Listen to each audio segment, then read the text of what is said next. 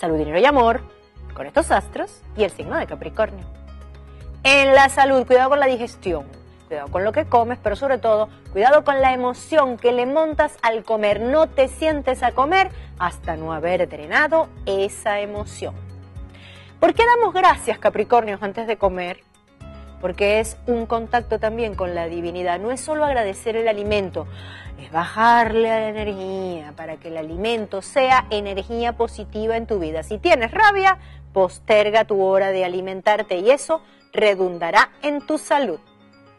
En el dinero, la energía de Capricornio va a ser transformada porque los cumpleañeros lo harán a la salida de un Mercurio retrógrado. Entre los días que quedan y el cumpleaños de Capricornio retrogradará Mercurio.